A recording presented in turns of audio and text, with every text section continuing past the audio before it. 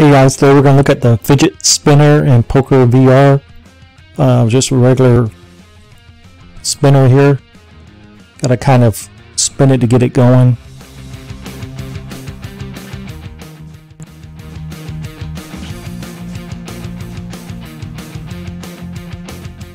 It's easier to do when I'm holding it with my right hand.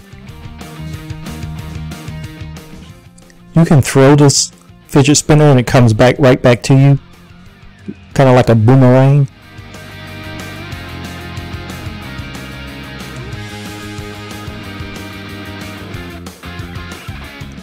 It's pretty cool. Oh, missed it.